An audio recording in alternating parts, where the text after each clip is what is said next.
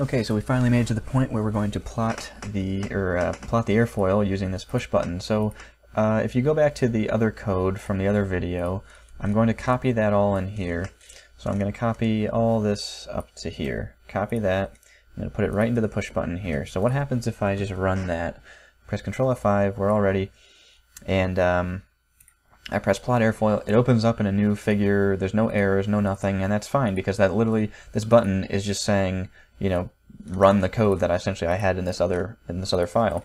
So the problem is though that it's not using any of our stuff that we that we put into our GUI. So one of the things is uh, one of the reasons is that I'm defining these variables here in the actual function. These should actually be read in from uh, from the base workspace. So these things here, if I if I uh, control uh, R these out, and also the plot, um, and I run it again, it runs fine. But when I plot the airfoil, it gives you an error because uh, it doesn't know what type NACA is, then it doesn't know what grid points is, uh, all that fun stuff. So we are going to need to code this up a little bit differently. We can still use the same essential code, but we need to take in the values from the base workspace. Uh, so I'm going to copy uh, these evals in over evalins over from my other file because they're the same.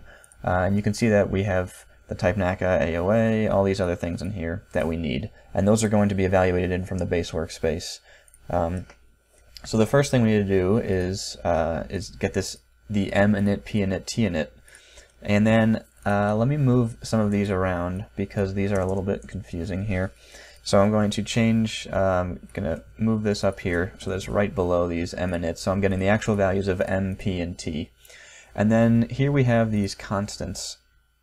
And one of the things that I had in my other file was that these could be switched. You can, you know, control R, control T to switch them, but we actually want to switch them based off of uh, what the pop TE value was. So if I go in here, I'm just going to say if pop TE is equal to 1, that means we want to use the open trailing edge. So we wanted to use this here. And then else if pop te is equal to 2, we wanted to use this.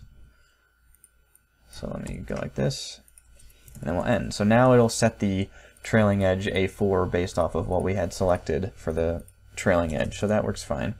Uh, the other one here is the airfoil grid. And I'm using linspace here to give a linear, linearly spaced grid, but based off of our pop grid type that we said here, we could also use a non-uniform. So I'm going to say if pop grid type is equal to 1, then we'll use this. Else if pop grid grid type is equal to 2, then I'm going to use this other, I'm, I won't explain this here, but it, it essentially groups the grid points closer to the leading edge and the trailing edge, and then there's they're more spaced out in the middle of the airfoil where the curvature is not as high. Um, I can explain this in a different video, but it's a really simple relationship if you just uh, draw it out. But it uses the uh, trigonometric function cosine to do that grouping. And then I'm going to assign in to the base workspace this x, because those are literally the x points that we're plotting. Okay, now we have the camber and gradient, and that's all the same. These are the simplified or shortened versions, so I took out all those for, uh, those four loops uh, to simplify this down. And now these look like they aren't being used because we're not actually plotting anything yet. So one thing that I want to do before I do anything is I want to get the uh, x camber line, and this is just the same as the x values.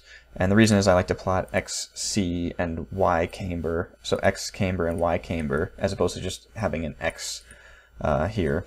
It's just for my purposes.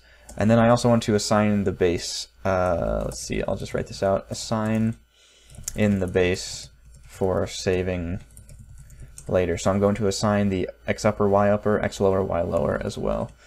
And this, we don't need to see me write this, so I'll just copy this from my other file. And now those, uh, so without actually plotting anything, these will be, uh, if I run this, you can see them in the base workspace when I push this button. You can see they pop up here. We have the x upper, y upper, x lower, y lower, and then we have x assigned in here. Okay, so what we want to do now is first, so this is for plotting now, because when we push this button we want it to plot it. So the first thing I want to do is select the correct plot, and that I'm just going to select the handles.plot airfoil like that. And I'm not going to change the, I'm not going to uh, define the title on the X label and the Y label because we did that up uh, when we initialized the GUI before it actually shows up. So now this is plot the airfoil, and this there's a little bit of code here, and it's just because uh, we need to plot based off of what kind of uh, plot we decided to use. So first things first, uh, actually we you know what we do need these labels here because I clear the axis every time so that the airfoil, whoops, so that the airfoil doesn't show up uh, plotted on top of itself when you change some parameters. So you do need to put this in here so that these labels show up every single time. So now in the plot the airfoil, so I'm going to say, remember first we need to say only plot it if the flag plot is equal to 1.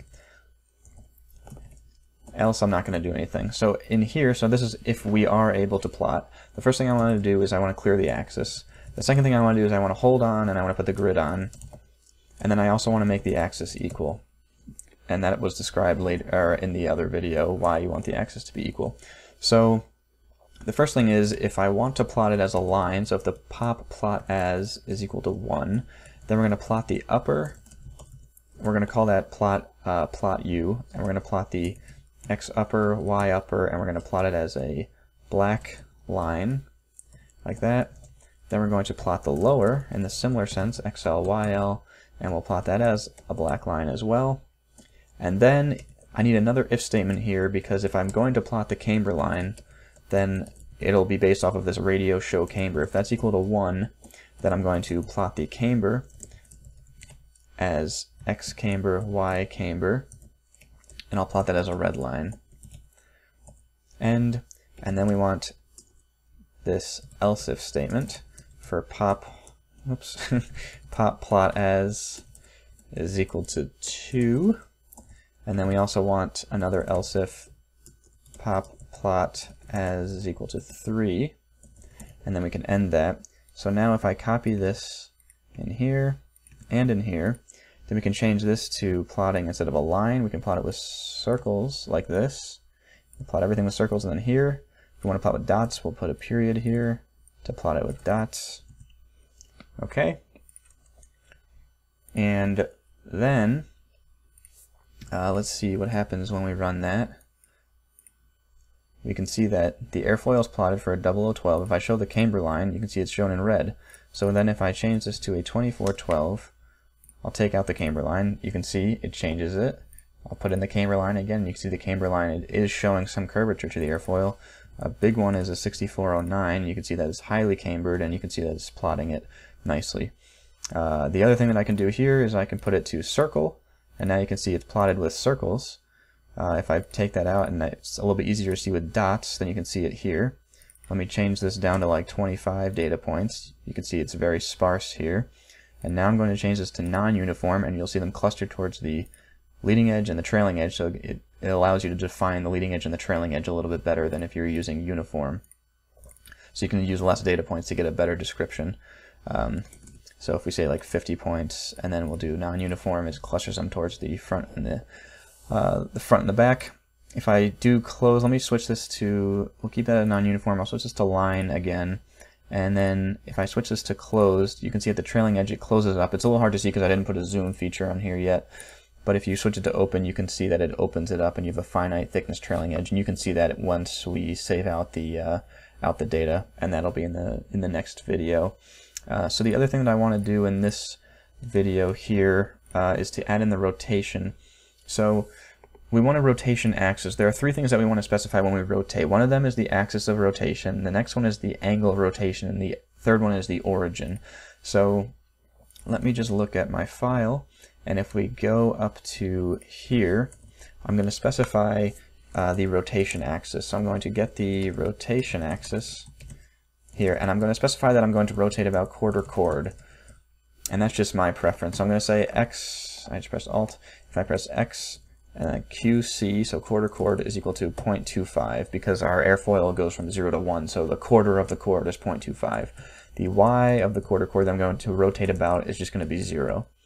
Okay, now we have these rotation parameters. And in here, I want to specify the three things that I mentioned. I want to specify the axis of rotation. The axis of rotation is defined with these XYZ coordinate parameters. So I'm going to set it as 0, 0, 1, and that means that we're rotating about the z-axis. And the z-axis is coming out of the plane, which makes sense because we want to rotate the, the airfoil in the actual plot plane so that we're rotating about the z-axis. Then the origin of this rotation is going to be about the x quarter chord, the y quarter chord, and uh, the 0 and the z. And then the theta of rotation is just going to be uh, the uh, the angle, the negative angle of attack. And this I put the negative because that's just how the rotation works. Uh, is that it's it's negative of what you think would happen to the airfoil uh, based off of the angle of attack that you put in um, to the actual GUI. So that's the angle of attack in degrees. Okay, so then in here, so where do we put that in here? We've plotted, so you'll see the reason that I use these uh, these plot U, plot L, plot C, and that's because we need to rotate them after we've plotted them. So if I go down to here after the else if, uh, after this, well, let me plot this here, uh, or put this in here, else if, just so you can see, flag plot is equal to 0. Then we, in here, let me just say we do nothing. Okay, so then after we've plotted all of these, so this end is based off of this if here, so after we do this, we want to rotate. So I use the rotate command. I'm going to rotate the plot U around the axis of rotation with a theta rotation angle around the origin that we specified. So that's rotating the upper surface, or the upper airfoil surface. We want to do the same thing for the lower axis of rotation, theta rotation, origin. And we also want to do the same thing for the camber line, but we only want to do it if the actual camber line is being shown, because otherwise this won't exist if it's not. So radio, if the radio show camber is equal to 1, then we want to rotate plot C around the axis of rotation for a certain angle, theta rotate, about the origin. Like that, it can end. Okay, so now I can run this I'm going to plot this, and you can see the airfoil show up. I'm going to change this to a 2412, so you can see some camber, plot the camber line. Now, if I switch this to a 15 degree angle of attack, you can see it rotates it. It'll, it rotates it about the quarter chord point. It's a little easier to see in a 0012 because of the quarter chord. Uh, you see the error message showed up, that was good. Um, because the camber line is a straight line, so you can see it's actually rotating about, at 0.25, it's rotating about this point right here. And this is just for looks, this doesn't do anything. Um, other than just physically rotate the airfoil. So you don't actually need this in the program, but I thought it was fun to put it in. And again, you can see if I put in like a negative 10, boom, it goes down uh, to a negative angle of attack. Okay, and the last thing I want to do in this video before I stop this, even though this has been a pretty long video, the last thing I want to do is I want to, now that we've plotted it, I want to enable data saving. So I'm going to set the handles dot push save data enable, I'm going to set it to on. So you can see here when we start it up, save data is not enabled. Once I plot it, save data is enabled, and now we can code in the next video. I will do the final final video. I'll code this save data up so that we can see uh, the data file that it will output. So thanks for sticking around for this long, and stick uh, around for the next video too. Thanks.